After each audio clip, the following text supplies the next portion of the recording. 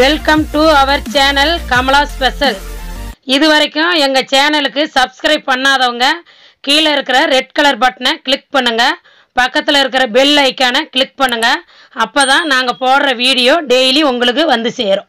அனைவருக்கும் வணக்கம். கமலா ஸ்பெஷலில் ஆந்திரா சிக்கன் செஞ்சுருக்கிறேன். இதை வாங்க எப்படி செய்யலாம்னு பார்க்கலாம். ஆந்திரா சிக்கன் செய்ய போகிறோம் கமலா ஸ்பெஷலில் பவுலில் சேர்த்துக்கலாம். அரை கிலோ சிக்கனு.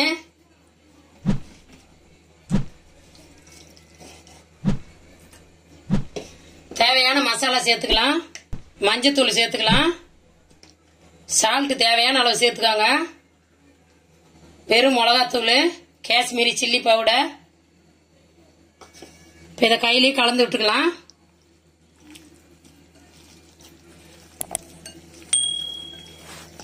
இதை அப்படியே அரை மணி நேரம் ஊற வைக்கணும்.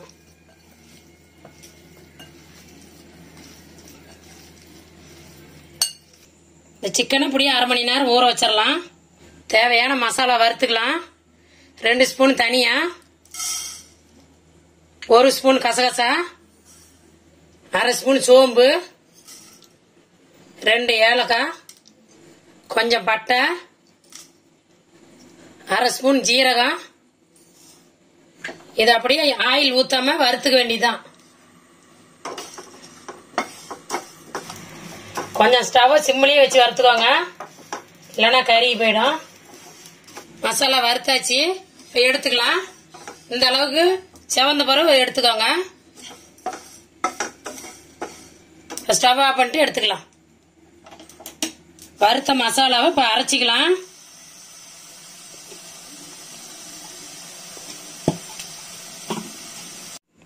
கடாய் காஞ்சிருச்சு. ஆயில் ஊற்றிக்கலாம் தேவையான ஆயில் ஊற்றிக்கோங்க ஆந்திரா சிக்கன் செய்ய போகிறோம் ரெண்டு பச்சை மிளகா கட் பண்ணி வச்சுக்கிறேன். இப்போ இதில் சேர்த்துக்கலாம். கொஞ்சம் கருவேப்பிலை சேர்த்துக்கலாம்.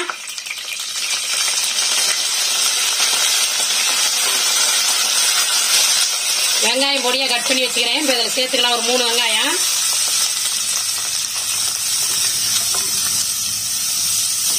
வெங்காயத்தை நல்லா வதங்கட்டும். வெங்காயத்தை நல்லா வதக்கிக்கலாம். நல்லா செவக்க வதக்கணும் வெங்காயத்தை. வெங்காயம் வதங்கிருச்சு. இஞ்சி பூண்டு பேஸ்ட் சேர்த்துக்கலாம்.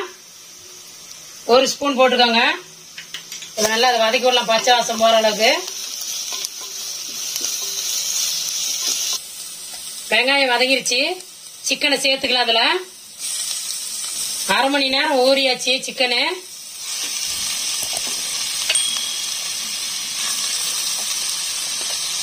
நல்லா அப்படியே வதக்கி விடலாம்.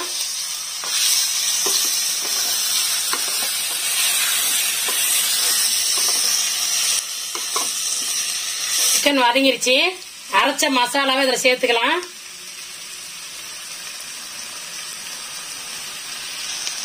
நல்லா வதக்கி விடலாம் அதில்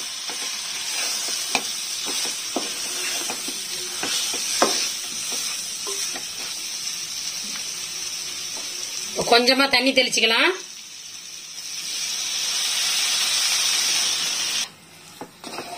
அப்படியே கொஞ்ச நேரம் வதக்கி விடுங்க சிக்கனை.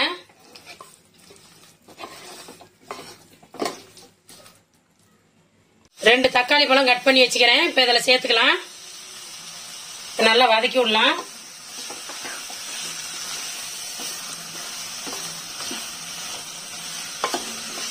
சிக்கன் நல்லா வதங்கிருச்சு. இப்போ உப்பு இருக்கான்னு செக் பண்ணிக்கலாம். உப்பு கொஞ்சம் கம்மியா இருக்குது. கொஞ்சம் சால்ட் சேர்த்துக்கலாம்.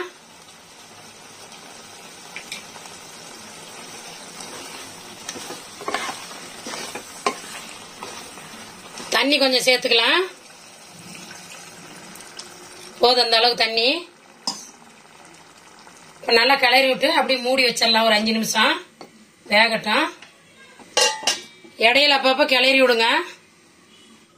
ஆந்திரா சிக்கன் ரெடி ஆயிடுச்சான்னு பார்க்கலாம். பாருங்க எப்படி வந்திருக்கு. நல்லா கிளறி உள்ள ஒரு கலரு இந்த கிரேவி வந்து இட்லிக்கு தோசைக்கெல்லாம் சூப்பரா இருக்கும். நீங்க ட்ரை பண்ணி பாருங்க. ஆந்திரா சிக்கன் ரெடி ஆயிடுச்சு. இதே மாதிரி நீங்களும் வீட்டில் ட்ரை பண்ணி பார்த்துட்டு எங்கள் சேனலுக்கு லைக் பண்ணுங்க கமெண்ட் பண்ணுங்க. ஃப்ரெண்ட்ஸுக்கெல்லாம் ஷேர் பண்ணுங்க. பக்கத்தில் இருக்கிற பெல் ஐக்கான கிளிக் பண்ணிடுங்க.